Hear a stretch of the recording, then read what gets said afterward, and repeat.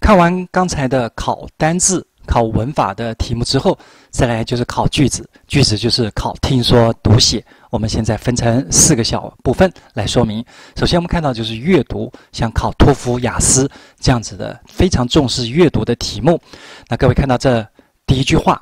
就有它一定的难度，可是我们也是在我们准备的过程当中看这些考古题呢，我们就学习练习自己的阅读的能力。当然，配合我们刚才教你的六个符号英文法的观念，先找主词。各位看到，这就是一个很标准的主词，只是主词挺长的。那各位看到主词长，不要觉得很奇怪。我们的基本观念教给你，主词就像人的头一样，有大有小。没有关系，都对我来讲都是一个主词，然后再看到什么词？动词，动词就是画成两条底线。所以我们看到主词跟动词，我们来仔细的看一下。The cold 就是这个冷冰冰的，hard 非常艰苦的 reality，reality 就是现实。什么样的现实呢？Of what is needed。那么各位看到介系词后面接名词，或者是名词片语、名词子句都可以，反正后面就是个名词的概念。What is needed？各位一定要接受它，它就是一个名词子句。什么样的一个事实？什么样的一个残酷的事实呢？就是 What is needed？那么 What 对我们来讲就是一个标准的名词子句带出来的一个字，我们用中括弧把它带出来。Of what is needed？对于什么是被需要的这种残酷的事实呢？那么这个什么样的事实，什么样的真实的现象呢？就是要去 to fulfill，to fulfill 带出来一个片语，去怎么样子呢？fulfill，fulfill 去达成、完成、合乎的意思，去符合这个 the Paris Agreements pledges。那这个 Paris Agreements 就是。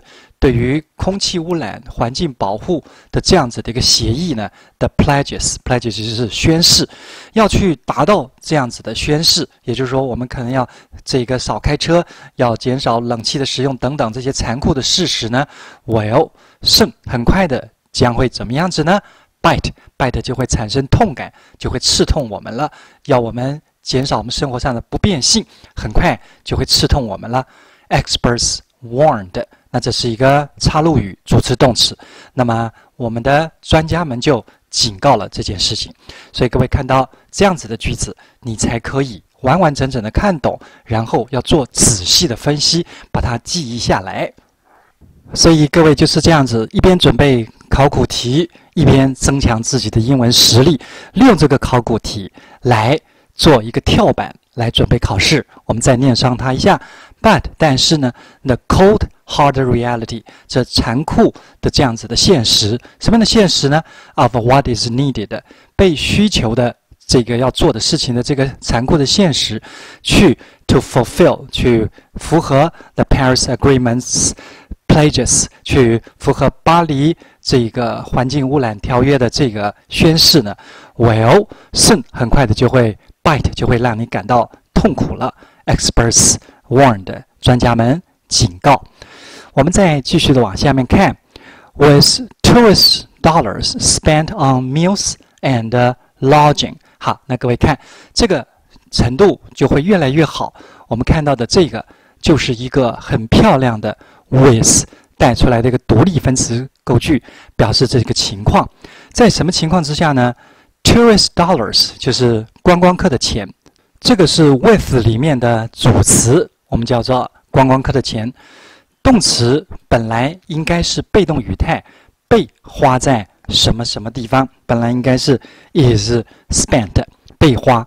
可是呢，我们这叫做独立分词句构，所以保留主词这个 tourist dollars 之后呢，我们的 is 被省略掉，留下 spent，所以这就成为一个我们在英文里面很精彩的特殊构句当中的独立。分词句构在 with 带出来的表示情况的这样子的这个句子当中，我们把主词保留，动词改分词。所以各位看到 spent 就是过去分词，要翻译成被被怎么样子的钱呢？这个被被花在 on meals 花在这个吃饭 and lodging 就是住宿上面这些钱，在这样子的钱的情况之下呢，the small town 那么这是母句的主词了，这个小镇啊，然后 brings in 就赚进来了，brings in 赚进来什么东西呢？in a huge amount 大量的大量的什么呢？of money 大量的金钱赚了很多钱。好，那各位，我们说阅读考了越来越高的考试，它就是多了一些所谓文法上的变化啊。这些文法的变化其实都很简单，稍微了解你再去看，会会发觉虽然句子不一样，字不一样，道理是一样的。所以这就是为什么要请大家先把道理弄懂，你再来去准备考试，效果才更好。我们好快的再把它看一下，Was tourist dollars spent 在观光客的钱都被花在 on meals and lodging，花在这个吃饭跟住宿上面。The small town brings，他们这个小镇赚进了呢，in a huge amount of money，赚进了大量的钱。那么，既然说这个高阶的考试有比较特殊的文法，我们就简单的再欣赏一下。各位看到 envy，envy 叫做这个嫉妒，嫉妒这个东西是是。就是 is，这是动词，是什么东西呢？The meanest。那么这是一个很棒的一个文法。mean 这个字本来呢，动词的时候叫做意指着什么什么，这个当成形容词呢，就是很恶劣、很严酷的意思。那么这是最高级，the meanest 最高级就是一个形容词。那各位，the 加上形容词，在英文可以成为一个名词，就是最残酷的东西。什么样的最残酷的东西呢？Of the passions 它选择叫做感情。我们在人的感情有这个五情六欲等等的，而嫉妒呢是所有感情当中最坏的一种。所以这句话，envy is the meanest of the passions。再来看这句海伦·凯勒当年讲过的话：The seeing。那各位好有意思啊！The seeing 是什么东西？如果不跟你解释，你还是真的看得莫名其妙。那各位还记得我们刚才讲过了加上形容词，各位这个观念请稍微记一下了加上形容词，它会变成一个名词，这很有意思。各位再简单的听一下了加上形容词变成名词，比如说我这中间说穷的叫。Poor p o o r，那么 the 加上 poor 就变成穷人，the poor 就变成穷人。那同样的道理，这个 seeing 呢，在英文呢是现在分词，现在分词可以当形容词，所以这个地方的 seeing 就好像是 poor 一样的观念。the poor，那这个是 the seeing，就是眼睛能够看得见的人。我们再说一遍，刚才你说 the poor 就变成穷人，那 seeing 是看见的。那就变成了能够看到的人，其实看到的是很少很少，视而不见。所以海伦开了自己觉得说，他用摸的，用这个体会的，可以感到世界上多么美丽。可是我们这些有眼睛的人呢，却看却没有真正的看见，没有去珍惜。The seeing see little。那么再看这最后一句：That and gum is the British Raj in India。那各位，这个题目是一个雅思的题目。雅思呢，我们都知道这是英国型的英文，所以看起来有些字呢，对我们来讲比较陌生，对它的历史文化呢，我们可能也少接触，所以就要多这个补充一下。那么这是一个标准的这个倒装句。那么我们的表倒装句是怎么回事呢？各位，请看到主词呢叫做 The British Raj，英国的统治在什么地方的统治呢？In India，在。印度的这个统治，这个统治呢是是是动词，所以是反过来说的。The British Raj in India，英国在印度的统治是是怎么样子呢？我们都知道，印度以前是英国的殖民地，不过这是很久以前的事情了。那这个英国的统治呢是是怎么样呢？Dead and gone，但是死掉了，而且是 gone，gone 的意思就是。消失了，所以已经不见了。那么合在一起，各位看到，意思就是说，英国这个再也没有办法统治这个印度了。那印度是什么呢？印度是 that most glittering jewel，那个最闪亮的那个 jewel，就就是珠宝。那我们都知道，印度以前成为英国女皇这个皇冠上的一颗珍珠，所以呢，它最闪亮的一颗珠宝在什么地方的珠宝呢？In the diadem，diadem 就是皇冠，谁的皇冠呢？Of a Queen Victoria，维多利亚女皇头上的皇冠的最闪亮的珍珠。这个印度再也不是英国统治了，所以各位。这看到这个雅思的比较难的题目，它就是文法上的结构比较深，其他的观念其实都是一样的。很快的再看它一下，Dead and gone is the British Raj in India。对于印度的统治，这个英国再也不行了。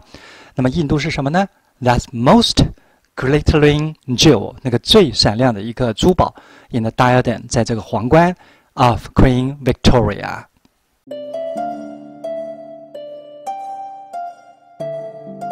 现在我们接着来看写作的这种考古题，比如说各位看到这句中文还真的挺复杂。那时我想我会永远拥有并保护这棵带给我们许多欢乐的树。好，那这个要变成写成英文要怎么办呢？那么各位写成英文，当然还是那两个条件：字要写的对，文法要写的正确。但文法怎么正确呢？文法就叫做一、二、三。你先找到这个主体。然后在这前前后后呢，可能再会有四的东西，这些额外补充进去的东西，我们就叫做四。所以一二三为主体，再补充四。那我们现在来看这个句子。首先，我们先找到一，一就是我，我就是一，我想想就是二，我想什么呢？我想这件事情。哇，这件事情就是一个名词子句，当成三。我想。这件事情，那现在我们就把它变成英文。各位请看，我就是爱想叫做 think，可是是以前的事情要变成过去式，就变成 I thought。我想，我想什么呢？我想的就是这件事情，我会这个保护这棵树。那各位，这叫做子句。我们用 that 带出来一个名词子句，表示这件事情。子句里面，各位看到也有主词，主词叫做我。动词叫做拥有并保护，所以我们英文里面的子句也是一二三的观念。所以我们把主词先出来，I own 就是拥有，拥有叫做 own，and 保护保护，我们也把它写出来，保护什么呢？保护这棵带给我们许多欢乐的树。那各位请看到，我们在英文里面的的的观念就是形容词的观念，所以我们先写这棵树。然后形容词放在它的后面，后面翻译前面。所以我们说这棵树，什么树呢？各位就准备把这个词句带出来，带给我们许多欢乐的。那既然是形容词词句，我们先带出一个 which 形容这棵树。这棵树是怎么样子呢？给给叫做 give，变成过去式就变成 gave。给谁呢？us 给我们，给我们什么呢？许多的欢乐。这个欢乐叫做 happiness，那么 happiness 是一个不可数名词，所以的许多呢就不要用 many，而是用 much，much 接不可数的东西，许多欢乐的这样子的一棵树。好，那各位，我们再把其他的补上去。我们这里说会永远，这个会就是一个助动词，表示意愿，意愿呢就是 would，would 就是一个意愿，永远。永远叫 forever，永远的，永远的，怎么样子呢？这个保护这棵树。所以各位看到，我们再来简单看一次，子句里面也有主词、动词跟接受动作的字，然后加上去的就叫做其他的事。像刚才的 forever 就是一个副词，像这个 which gave us much happiness 就是形容词。所以我们一个个的补上去。最后，我们再补这个地方，叫做那个时候。那个时候也是一个副词片语，我们放在前面好了。At that time，在那个时候，这样子我们就合出来这一个句子，就很正确的把它写出来了。所以各位看到这样子一步一步的训练出你的写作正确句子的能力。我们再把它念诵一下：At that time，在那个时候，I thought，我在想。我在想什么呢？想的就是后面的这件事情，由 that 带出来这个名词子句，子句里面也有主词动词。I would forever，我会永远的呢。动词 own and protect，拥有跟保护，保护什么呢？The tree，这棵树，什么树呢？Which gave us much happiness，给我们这么多欢乐的树。这样子就把这个句子给写出来了。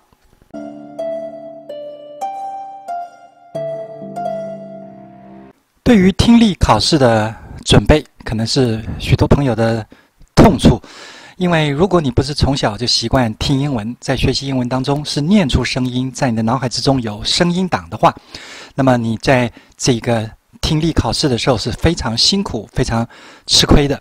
所以我们都会鼓励大家在学英文的时候，一定要念出声音出来，要听英文，要自己念出来，在脑海之中具备声音档。所以现在的小朋友其实是有一个不错的地方，就是他们在学校里面会让他们说跟听了。所以有家长来跑来找我学文法，说他的孩子要学文法的时候，我会建议他：你的孩子如果还在国小阶段还小，不要先学习文字的东西，而是应该让他们先多听多念。这样子对他们的未来是绝对有帮助的。但是你的情况如果不一样的话，你过去并没有建立声音档的话，那你就要现在自己来建立，也就是你自己要先念，你要懂得文法结构。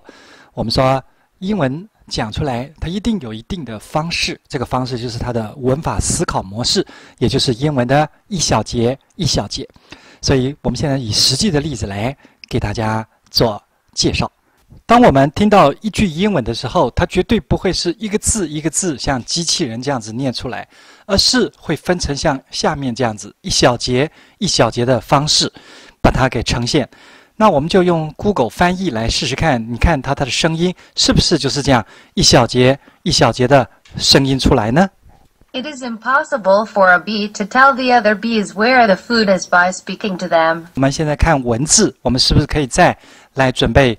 听一次。Possible for a bee to tell the other bees where the food is by speaking to them。是不是这个样子呢？It is impossible for a bee to tell the other bees where the food is by speaking to them，这样子一小组一小组的呈现。To tell the other bees where the food is by speaking to them。是的，然后它会越来越快。It is impossible for a bee to tell the other bees where the food is by speaking to them。所以呢，各位呢，这样一小节一小节观念，如果你有呢，在听起英文，当然就会比较这个容易了。It is impossible for a bee to tell the other bees where the food is by speaking to them。 我们现在就来实际的听一题多义考试的听力题目，然后我们要怎么样学习着去反复的念诵，比它还快，这样子在未来听力才会有所帮助。Excuse me, where is the fax machine? 呃，抱歉一下啊，请问那个传真机在什么地方？那么 A 选项说 It's not working properly，它并不是运作的这一个非常的适当地，就是说这个机器有问题，这不是我们的答案。B 选项，down the hall and to the right，沿着这个走道走下去，然后呢向右转就看到 fax machine 在那边了，所以答案选 B 选项。C 选项说 no problem，没问题，这不对，所以我们答案选的是 B 选项。各位听完这题考古题之后，我们就要做真实的训练，训练自己念出声音来，而且比他还快。Excuse me, where is the fax machine？越来越快。Excuse me, where is the fax machine？然后就回答。Down the hall 就是沿着这个走廊一直走，and to the right，然后向右转，然后再快。Excuse me, where is the fax machine? Down the hall and to the right，你就这样练习练习练习，你就越来越像真的，你的听力就一定会越来越好。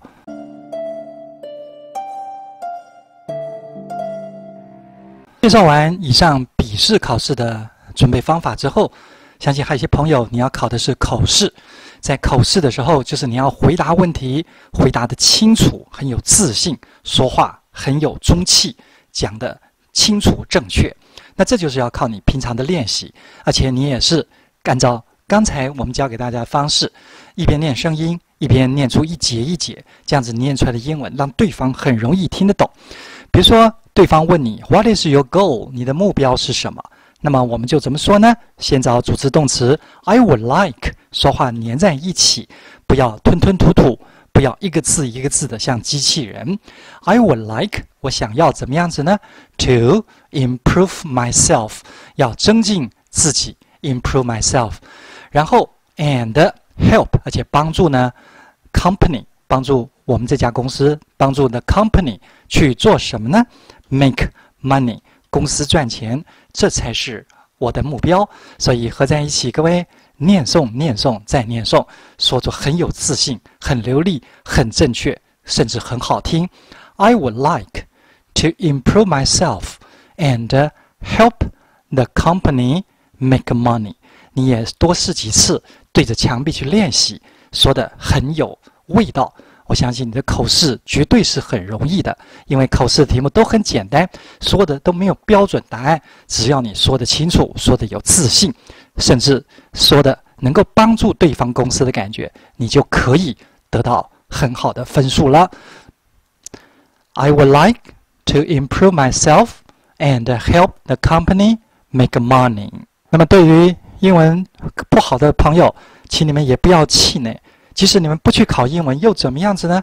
我们把专业学好，就像我们旅美的棒球选手，他们球打得好，美国人甚至愿意请他帮他请一个翻译都可以，因为他专业好。那所以各位朋友，专业才是重要的，请你把专业培养好，英文当成第二专长，这才是一个正确的心态。